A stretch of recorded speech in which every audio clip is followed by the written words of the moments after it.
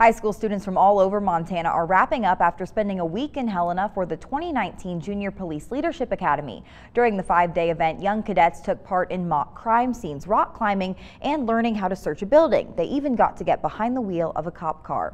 New this year, teens wore green in support of Montana Highway Patrol's Wear Green for Wade campaign. The cadets said they're honored to support Trooper Wade Palmer. Organizers say they want to give teens skills they can use wherever their careers take them. They helped me out, overcame a fear yesterday doing some rappelling.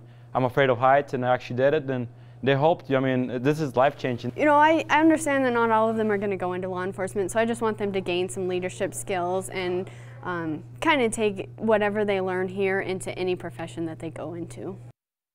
The Montana Association of Chiefs of Police sponsors this yearly event.